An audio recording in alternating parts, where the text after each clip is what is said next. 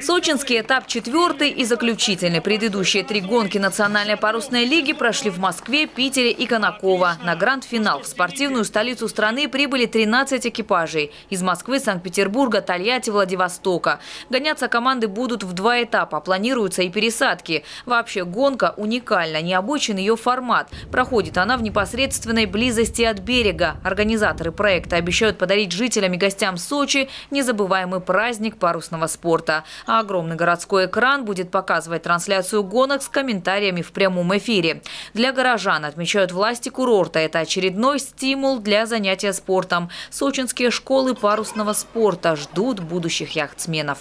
Очередной раз мы показываем рекламу нашего города, который развивается, который не стоит на месте. Это и курортный, э, курортное направление. Поэтому мы еще раз показываем, что город Сочи работает в круглогодичном режиме. Как просто для отдыхающих, так и для спортивной жизни города. На жеребьевке сочинскому экипажу досталась лодка под номером один. Спортсмены рассчитывают на удачу. Звание мастеров спорта не всегда гарантирует победу, отмечают местные яхтсмены. Да и родная акватория может подвести. В этом виде спорта многое зависит от ветра. Ну и, конечно же, от слаженной работы команды. Здесь собрались такие ребята, которым любая акватория ни почем.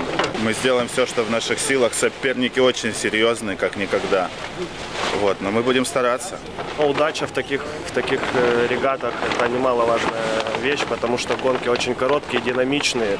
На раскачку времени нет. Надо прямо сразу и в бой. Чтобы уравнять возможности спортсменов, на соревнованиях организовали монофлот. Гоняются участники национальной парусной лиги на одинаковых лодках. Должны гоняться не бюджеты команд, да, а должны гоняться команды.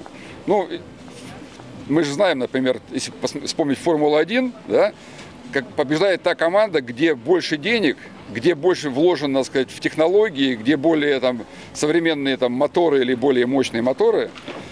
А вот у нас был принцип, значит, что не может быть э, влиять на результат у кого какая лодка. Помимо звания победителя, командам-призерам предоставляется возможность представлять Россию на Лиге чемпионов. Эти соревнования пройдут в следующем году и соберут лучших яхтсменов мира. Гонки же Золотого флота и торжественная церемония закрытия сочинского гранд-финала состоятся 18 октября. Инга Габеша, Николай Тихонов, телекомпания «ФКТ».